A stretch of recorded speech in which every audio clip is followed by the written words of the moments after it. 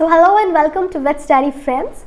So I'm up again with a new video and this video is going to be very beneficial for all those students who want to become veterinary doctor who aspire a career in veterinary and they want a college in Uttar Pradesh only. So in this video I am going to tell you about the universities which offer veterinary in Uttar Pradesh.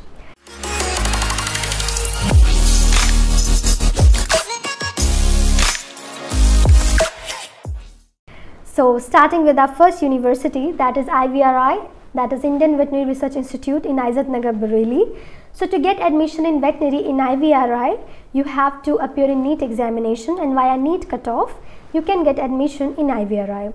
The second is Banaras Hindu Vishwavidyalaya that is BHU in Varanasi and for to get admission in veterinary in BHU also you have to appear NEET exam and then via NEET cutoff you will get admission in veterinary there. The third is DUVASU Mathura and DUVASU conducts its separate entrance exam every year so you can appear in that and some seats are also reserved for the NEET candidates. So now talking about the state agriculture universities. So we have four state agriculture universities that is CSA in Kanpur, ANDUAT in Ayodhya, SVPUAT in Meerut and Banda Agriculture University in Banda.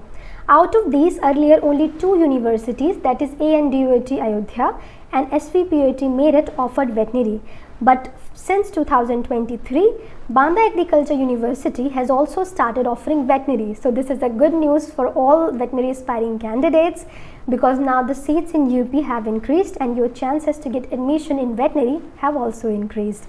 So now we have three agriculture universities which offer veterinary in UP. Those are Acharya Narendra University of Agriculture and Technology, Kumarganj, Ayodhya, Sardar Vallabhbhai Patel University of Agriculture and Technology, Meerut, and Banda University of Agriculture and Technology in Banda. So this is the information brochure of this year's UP CATET exam. You can see it. This year ANDUAT was uh, conducting the exam and uh, now you can see the other details which are mentioned in the brochure and these are the dates of the online counseling. You can see 20 to 26 June and uh, on 6 July the seats will be allotted.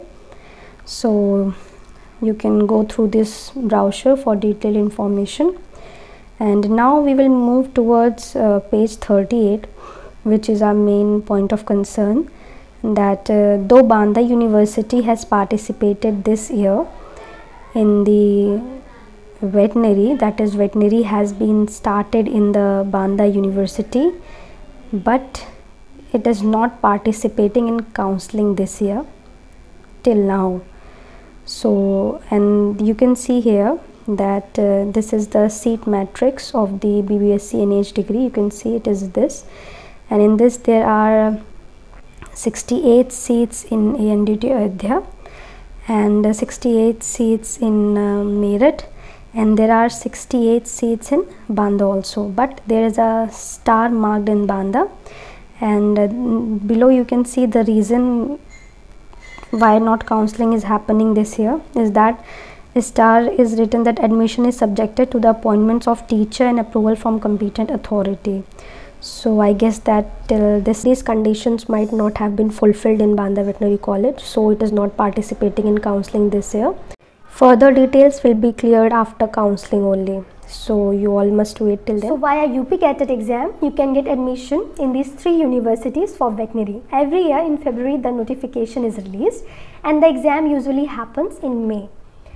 So I hope this video proves useful to you and if this video was useful to you then please don't forget to like, share and subscribe to our channel and keep watching with study Have a great day guys. Bye bye.